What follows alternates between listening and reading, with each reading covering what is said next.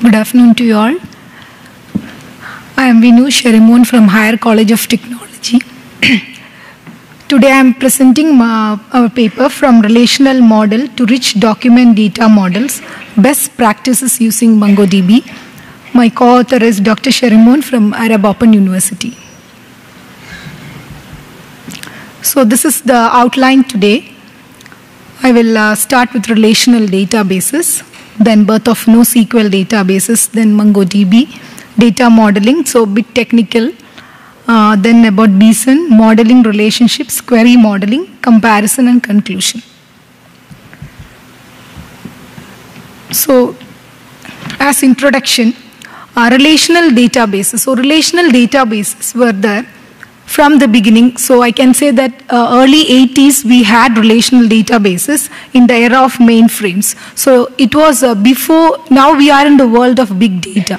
So these relational databases were there before the arrival of cloud computing or big data or mobile applications. So um, almost all the applications which uh, rely on these relational databases they were uh, developed to, uh, most of these applications, they were developed to work on a single server. So if you want to increase uh, the capacity of these databases, usually we need to upgrade the servers. Maybe we need to upgrade the processors or memory or storage devices. No, even though uh, the hardware, data, and other applications have uh, changed a lot, the underlying data management techniques remain the same. So most of the applications uh, still we have it in relational uh, databases. Now, now what is the scenario now? The world has changed. Now every one of, every one of us is talking about data and uh, we have terabytes or petabytes of, or even kilobytes of data. So we, have, we are collecting a huge amount of data and uh, we have web applications, we have social media. So these applications are generating massive amount of data. So the data has increased. So once the data has increased, the risk factor also has increased. So we are uh, uh, generating or we are collecting data from different applications. So the risk factor has also increased. Now everyone uh, wants to get things cheaper. So this is the other side. So we need or we need to have uh, the applications uh, in less amount of time and we need our applications to be available 24 by 7.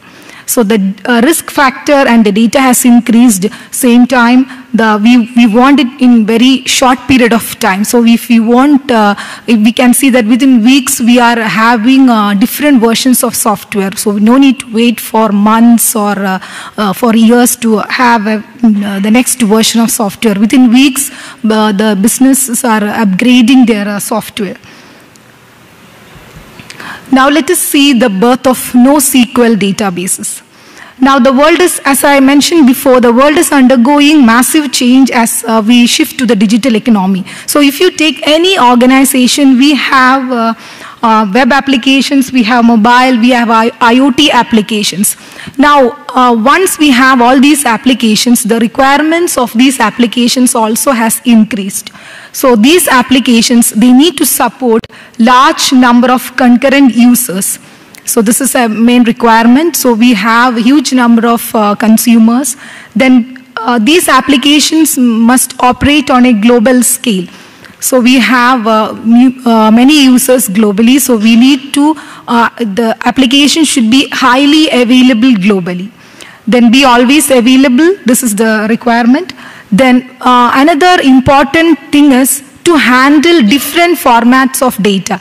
So we were, earlier we were uh, focusing on the structured data, but now we have uh, semi-structured and unstructured data. So we have to handle, or these applications, they have to handle uh, structured, semi-structured and unstructured data. And next is regarding the agility, agile application. So uh, rapidly adapt to changing requirements. So every time we need to change our application. So requirements are coming up, so we, our application should be agile. So we have to have frequent updates and we have to add new features. So for all these requirements, uh, we can say that relational databases can't support all these uh, type of requirements. So NoSQL databases are emerged as a result of the exponential growth of the internet and the rise of web applications. So this is actually the uh, birth of NoSQL uh, databases. Now let us see what is NoSQL. So NoSQL, we have different interpretations, not only relational or uh, it's non-relational. So this is a database which provides a mechanism for storing and retrieving of data, which is model other than the tabular relations because we are all of us we are familiar with the table or the ta tabular relations or relational model. So this is all, this is not uh, modeled in a relational way. So this is a non relational model. It is distributed it is open source and it is horizontally scalable. So scalability is the most important feature here. Horizontally scalable. So these NoSQL databases they are horizontally scalable. They are open source also now let us see some uh, basic classification of NoSQL databases. We have different classifications. We have more classifications, but these are the basic ones. A key value uh, data, NoSQL database, columnar, graph, multi-model, document. And uh, the right side shows uh, uh, each uh, one, one, one, one example. So Redis is one key value NoSQL database and Apache Cassandra column model and Neo4j, this is graph model, and ArangoDB multi-model and uh, MongoDB document model. So in this paper, actually I am comparing relational model with the document model and I have taken the example of MongoDB. Now MongoDB, when you take, it is a free open source cross-platform document-oriented database. It was developed by MongoDB INC in 2009 uh, originally, the company was 10gen, and later they uh, changed their name to MongoDB INC. So this was from them, and it is an open source NoSQL database. And uh, it supports drivers for many uh, programming, the uh, popular programming languages we have now, uh, Java, Perl, Python, Ruby, Scala, etc and it is the best uh, non-relational database. So as per 2015 rankings, MongoDB is one of the best with the Cassandra. This is one of the popular uh, non-relational uh, database.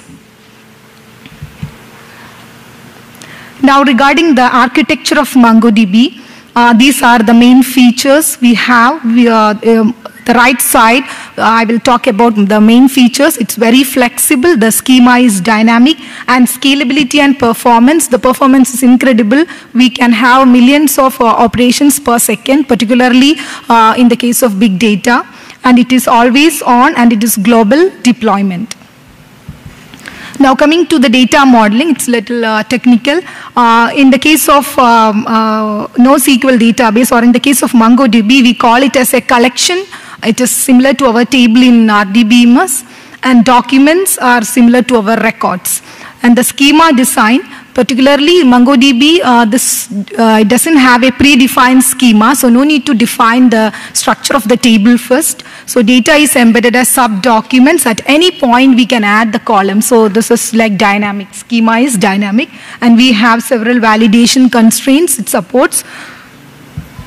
Now, uh, the data uh, is represented in uh, the BSON. BSON is the binary representation of JSON format. So, why they uh, use BSON? Uh, BSON supports uh, different types of data types than JSON. So, these documents are represented in JSON. And it is efficient for encoding and decoding during network transmission. Now this is one uh, uh, example of a MongoDB document. This is how it looks like. So you can see we have uh, uh different types of uh, data inside a single document. You can have strings, we have nested document, we have integer, we have array, we have geospatial coordinates. So this is one example of a MongoDB document, how it looks like. And coming to the relationships, uh, modeling relationships, uh, as we know that we have different types of relationships uh, in database. So all these relationships, same, we can have it in MongoDB. But the important point in relational model, we have the primary key, foreign key relationship. So in the case of MongoDB, one-to-one and one-to-one relationships, we are using the same document. That means the related document we are embedding inside the same parent document. But in the case of many-to-many relationship, we have, we have to use two collections and we store the related links. Now these are the examples. So for one-to-one relationship, we can have the uh, document inside the parent document. This is one-to-many relationship. So for the student information, the courses he study, it is already embedded inside the document.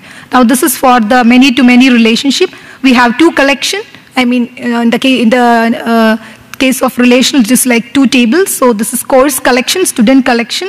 And uh, for the course, we have an ID field. So this is like our primary key. It's automatically inserted. So if the user is not inserting the value, uh, MongoDB automatically insert a value there and it's a, a random number. Uh, it's not at all a duplicate value. Now coming to query modeling, MongoDB provides uh, native drivers for all popular programming languages and it uses methods or functions to call uh, or communicate with the database.